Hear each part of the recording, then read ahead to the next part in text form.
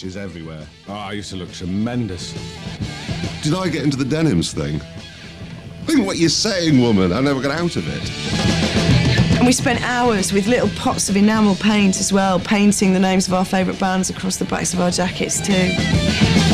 Even at school, the art class had a project where you could do a, a band's design on the back of your denim, and the, and the school was judging it. Are you keen on embroidery? Everybody was going home at night with a needle and thread, you know, like really manly. Digging it out, you know, hey, we're into rock. Smart.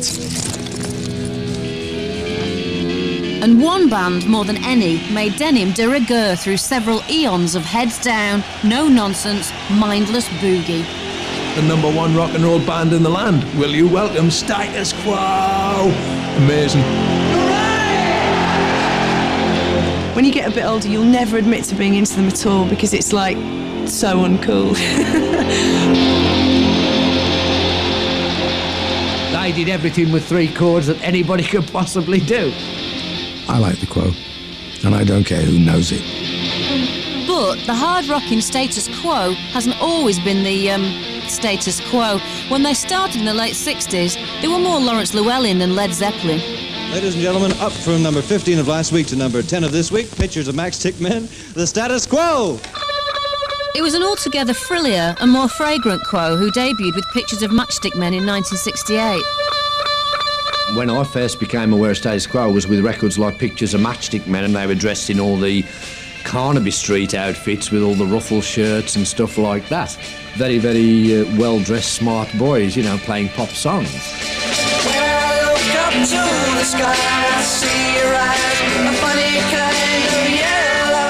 I tried to copy the uh, Hey Joe by his name? Uh, Jimi Hendrix, and came out with Matchstick Men. Then we had this thing that were a psychedelic bands. We were a psychedelic band with a rock, a, a, a soul set, and we were rocking. It was confusing. Initially, I mean, we were, we were quite happy to be a pop band.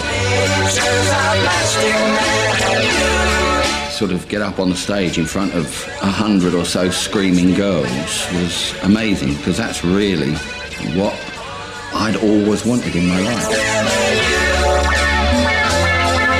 It's amazing how quickly that kind of wears off and you want real appreciation for what you're doing rather than because they've seen you on top of the pops, you know.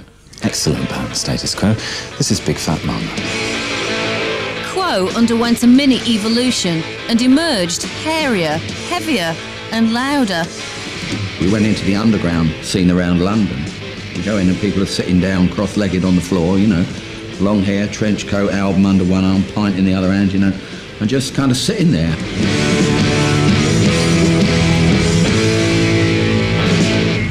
We went on and started pumping this kind of boogie at them.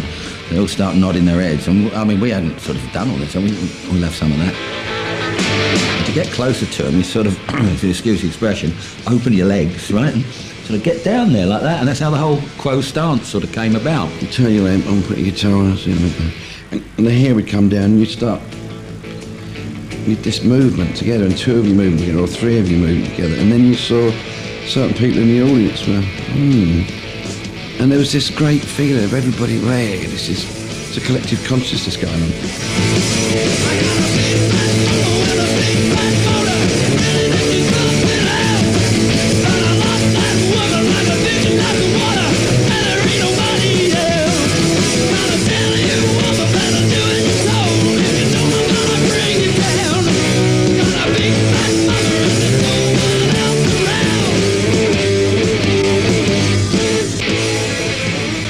Time you would see anything was at the end of a number when you in your hair back. Ah, there you all are. And like that, blah, blah, blah. Next song, head down, and away you go again. See anything.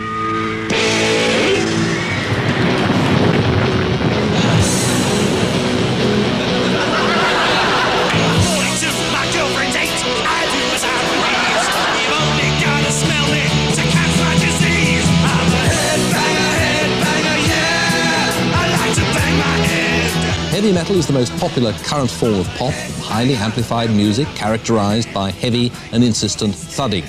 So heavy and insistent that it's mainly young, male, denim or leather-clad fans respond in the only way possible, by banging their heads in time with the music.